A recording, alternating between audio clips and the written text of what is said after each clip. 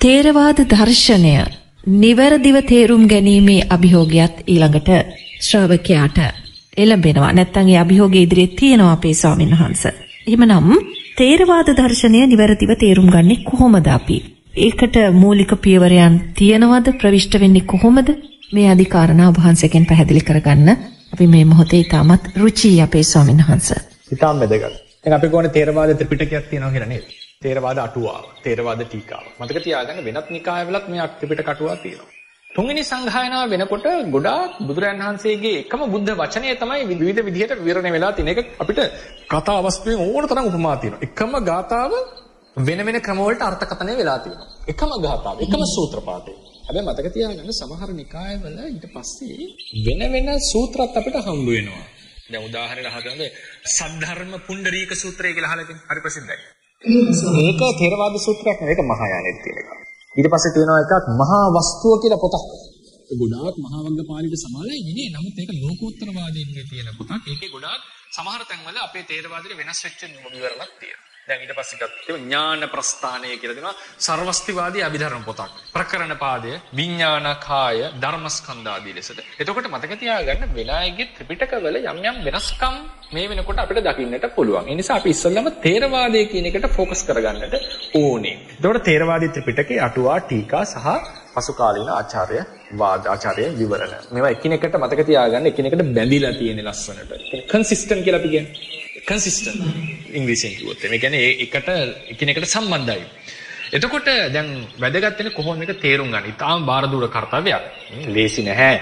ඉතින් මේක නිසා නික අපි සමහරලාට හිතනවා මේක දවසින් දෙකෙන් තේරුම් අරගෙන නිවන් දකින්න ඕනි කියලා කතා ප්‍රවෘත්ති ඇහෙනකොට.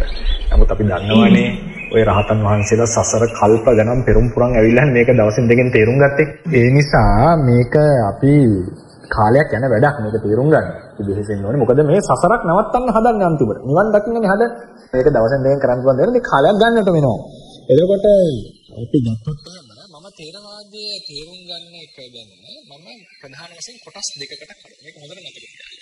පළවෙනි එක තමයි තේරවාදයේ මූලික સિદ્ધාන්ත කියලා කොටසක් තියෙනවා. ඒ මූලික સિદ્ધාන්ත අපි තා පැහැදිලි විදිහට ගන්නවා. ඊළඟ එක තමයි තේරවාද අර්ථ විවරණ ක්‍රම.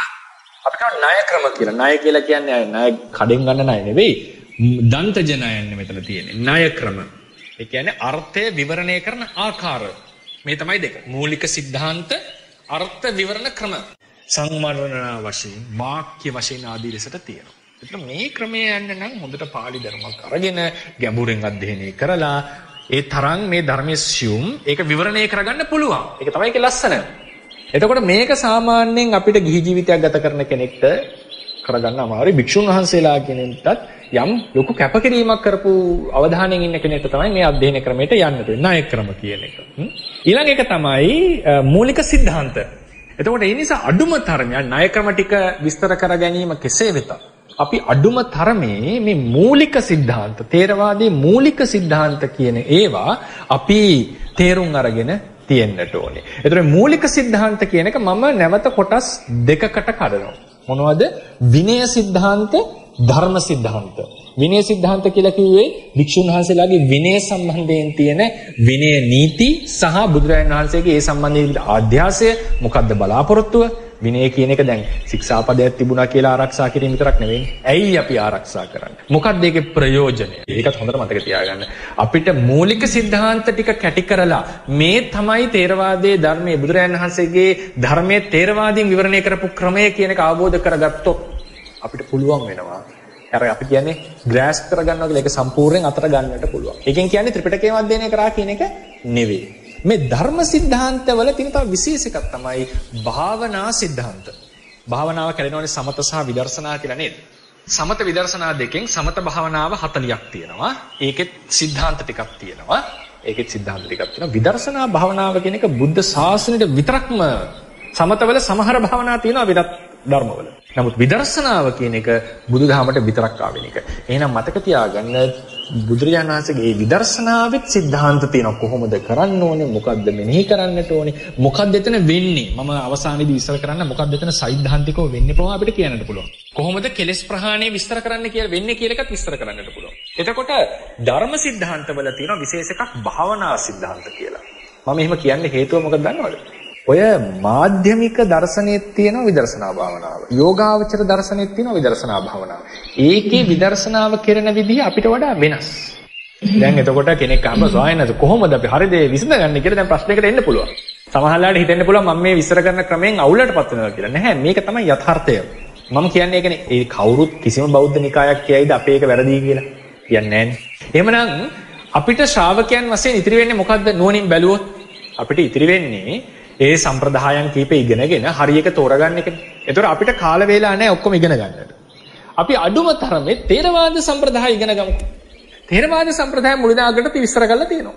මේක ඉගෙන ගත්තම මේක කාට හරි මේක රුචි නැත්තම් ඉතින් කරන්න දෙයක් නැහැ නේ. අපිට බලෙන් තියාගන්න බෑ. රුචි නම් අන්න මේක පිළිපදින්න පුළුවන්. හැබැයි අපි මතක තියාගන්න තේරවාද ධර්මයේ පිළිපදිනකොට තේරවාද ක්‍රමයට විදර්ශනා කරනවා කියලා එකක් තියෙනවා. මාධ්‍යමික ක්‍රමයට විදර්ශනා කරනවා කියලා එකක් තියෙනවා. යෝගාචාර ක්‍රමයට විදර්ශනා කරනවා කියලා එකක් තියෙනවා. ඒ කට්ටිය කියයි අපේ ප්‍රතිෂ්ඨ ඒ කට්ටියගේ හැටියට ඒ ඔවුන්ගේ හැටියට අරිහත්ත්වේ සම්මා සම්බුද්ධත්වේ. හැබැයි තේරවාදීන්ගේ හැටියට ඔවුන්ට අරහත් වෙන්නට බෑ. පැහැදිලිද? තේරවාද ක්‍රමේ ඉඳන් බලනකොට රහත් වෙන්නට බෑ. හැබැයි ඔවුන් කියන උන්ට රහත් වෙන්න පුළුවන් කියලා. ඔවුන් කියනවා අපිට රහත් වෙන්න බෑ කියලා. ඉතින් මේක සාමාන්‍ය පොදු දෙයක්.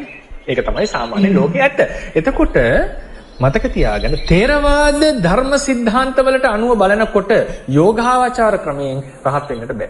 මාධ්‍යමික ක්‍රමයෙන් රහත් වෙන්න. මොකද හේතුව තේරවාද විදර්ශනාව පදනම් වෙලා තියෙන තේරවාද ධර්ම સિદ્ધාන්ත මත. මම නැවත එනවා. කෙනෙක්ට අහපුවා මොකද තේරවාදය කියන්නේ? තේරවාදය යන බුදුරජාන් වහන්සේගේ ධර්මයේ අර්ථකථනය කරපු තව ක්‍රමයක්. කවුරු හරි කිව්වොත් එහෙම නෑ මට ඕනේ බුදුරජාන් වහන්සේ දේශනා කරපු ධර්මයේ අර්ථකථනය කරගන්න කියලා. ඒතර මම කියන්නේ මොකද්ද? මම විස්තර කරන්න එක ඒ ඔබ බුදුරජාන් වහන්සේගේ ධර්මයේ තේරුම් ගත්ත විදිහ. මේ තේරවාද සම්ප්‍රදාය ධර්මයේ තේරුම් ගත්ත විදිහ. කවරට හිතෙන්න පුළුවන් ඇයි මේ ස්වාමීන් වහන්සේ මේ තේරවාද විදර්ශනාව කියලා වෙනම ලඝු කරන්නේ? තේරවාදයේ තියෙනවා ධර්මයේ විස්තර කරපු මූලික સિદ્ધාන්ත ක්‍රමයක්. ඒ ක්‍රමයේ මත තමයි තේරවාද විදර්ශනාව විස්තර වෙලා තියෙන්නේ.